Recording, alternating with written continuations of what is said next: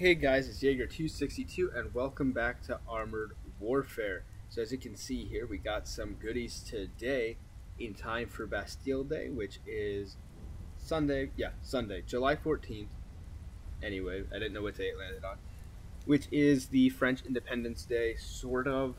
It's not exactly translatable into that, but it is the day that they stormed the Bastille and began the French Revolution, so happy Bastille Day to anybody in France. And for that, we get some premium time, we get some decals and avatars and stuff like that free. But that's not what I wanted to talk about. What I wanted to talk about is this edition, which is finally just in time for Bastille Day, the other half of the French tech tree.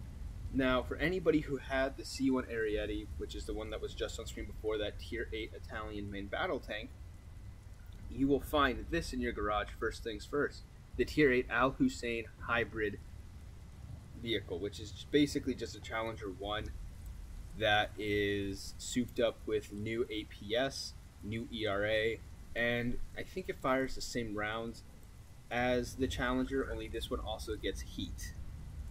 So I actually I can double check that right now. Just Challenger, Challenger, Challenger. There it is. Yeah, because this one gets Hesh. Does it get heat though? Yeah. Hesh, no heat. The Al Hussein gets heat rounds, which is nice. I will be doing a review on this vehicle first. Not today, but probably later. I'm going to be doing all the vehicles in the French tech tree. But this will replace the Ariete. And the great thing about it that I want to show you is that it comes 100% research. So you get all the things unlocked. Now, obviously, if you're on the Challenger 1, you didn't have the Ariete unlocked. Unfortunately, you don't get it. But if you were grinding towards something with the Ariete, like I was grinding towards the Challenger 2, and I was only about, as you can see down here, like 30% of the way through, you actually now get all that experience up and so I can just get the Challenger 2 right now, today, first thing that I do, which is great. That aside, the rest of the tech tree does look pretty interesting. I've been messing around some of these vehicles. The C1 Ariete actually doesn't go anywhere on this tech tree, so if you're like me and you weren't really a big fan of this vehicle, I would recommend just not researching it anymore. That's what I'm going to do. But it's an interesting addition to this tech tree, and I think it works really well because from the looks of how the Leclerc tanks operate at their respective tiers, armor wise, it matches the Ariete. Not a lot of frontal armor, but hard hitting, accurate guns. And so you can see all of them here. I'll be doing reviews starting with the tier 7 and going all the way down the line. The only vehicle I won't be reviewing, but I want to show you anyway, is the Leclerc T40. And the reason I won't be reviewing this is because it is a tier 9 premium. And so it's worth 14,000 gold or about 75 American dollars. And that's a little too expensive for me, but it is an incredibly interesting vehicle, in my opinion. It has a 40 millimeter auto cannon, which is great, but its four ATGMs operate like the Javelin missile system. And what I mean by that is you can only fire them while locking onto a target. So, kind of like when you lock on using auto guided missiles on other premium vehicles, it's the same concept, only it has to. Oh, they are javelins. Okay, that's what I want to check.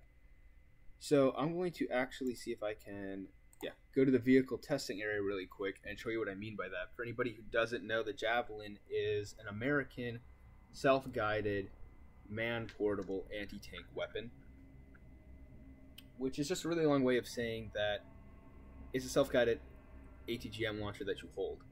The only thing that makes it unique is that, unlike other launchers of its kind, you actually place the javelin, you carry it, and point it straight up. You lock on like normal, but the miss, the uh, warhead will actually shoot straight up out of the launcher and then find a target and slam down into it, kind of like a Swingfire. And so you'll see what I mean right now if I just aim at a target and try to fire, I can't do anything. So what you do is you right click and then it will lock on. And once you have the lock on, there it goes. The missile do an alright amount of damage. It's just this one animation that I think is absolutely incredible. It does carry 1,200 rounds total, so 600 high explosive, 600 APCR, and they're actually pretty good rounds. I mean, they get 210 millimeters of penetration. So there's very few vehicles that actually are able to block that. I mean, obviously that's just a tier 8, but it's ripping through it doing about 75 to 80 damage per hit, and the Javelin missiles, while they only do about 600 damage, do have a fair amount of penetration. They have 600 millimeters, and so once you upgrade them, because even though this will be a premium vehicle, it is part of the French tech tree, so you'll have to do the same kind of choices, upgrading them, what do you want to upgrade.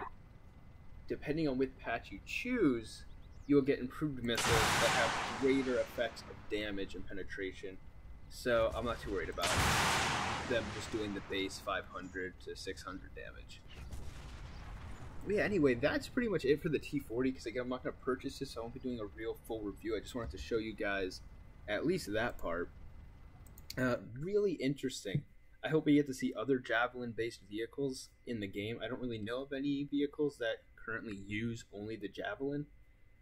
Uh, but if you know of any, please leave them down in the comment section below. Let me know what you think about the T40 and if you think it's worth the 14,000 gold price. That's just a little bit high for me for any premium vehicle, but very cool. The Leclercs themselves actually look amazing. It's exactly what we were promised.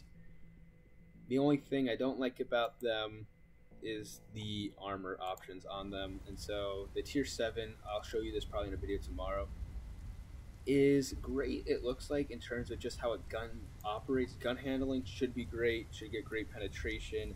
You're going to have the ability to actively spot multiple targets once you unlock that ability through grinding up its upgrade tree. But its armor is just not the best in the lower plate.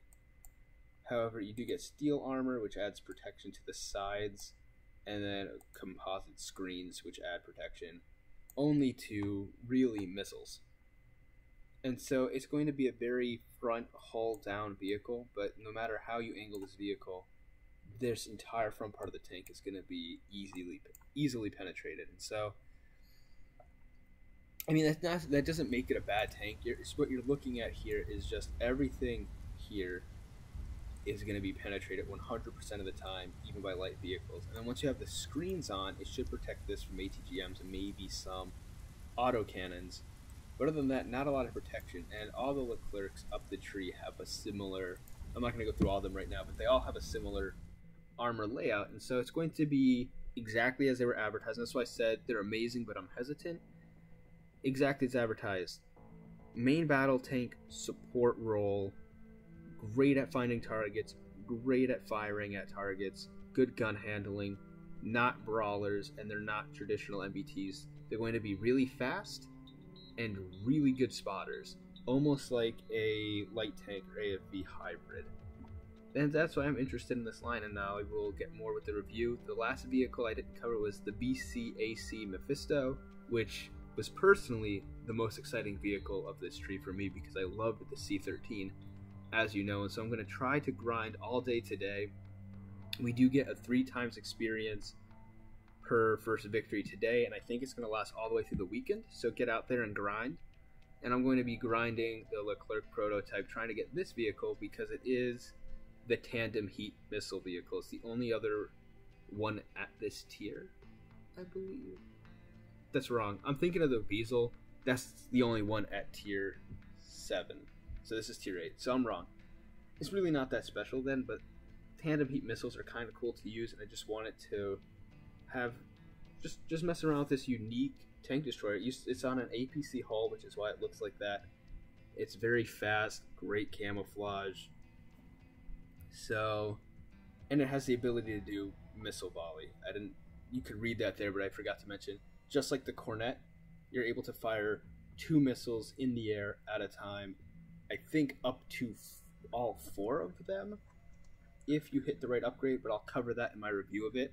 Anyway, I just wanted to do that a really quick video, news video on Armored Warfare's Bastille Day update. So lots of cool stuff. Each one of these French vehicles comes with their own camouflage to unlock, but also they just released Bastille Day themed skins for the Leclerc prototype, the OF40, and the ERC90. I can't remember it because it's not actually on this tech tree.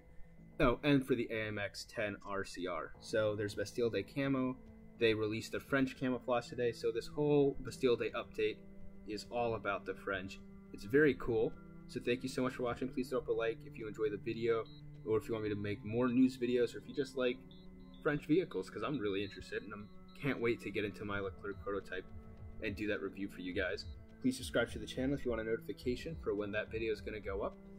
And as always, thank you so much for watching, and I will see you next time.